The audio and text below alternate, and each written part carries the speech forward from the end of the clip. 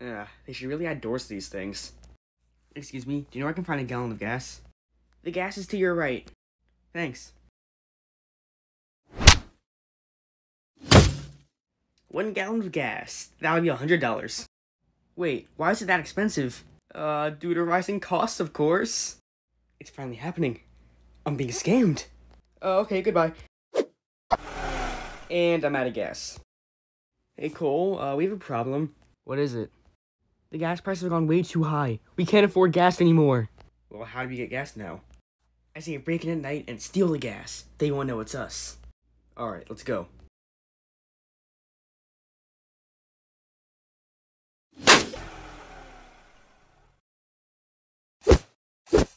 Ready? Ready. I do not get paid enough to be here. We're here to steal your gas. Can you come back on someone else's shift? Why are the gas prices so high?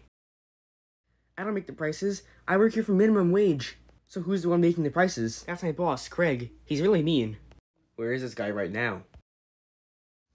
Oh man, I love being rich. You there. I demand that you make the gas prices affordable again. And I want a raise. Well, too bad. The money is mine. I'll never let you have it. Guys, he's getting away. It's too late. So long, suckers.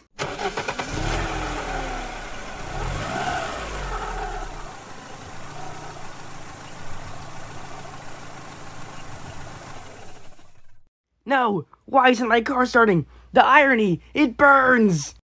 Hold up, can this guy not even afford his own gas? This will be easier to solve than I thought.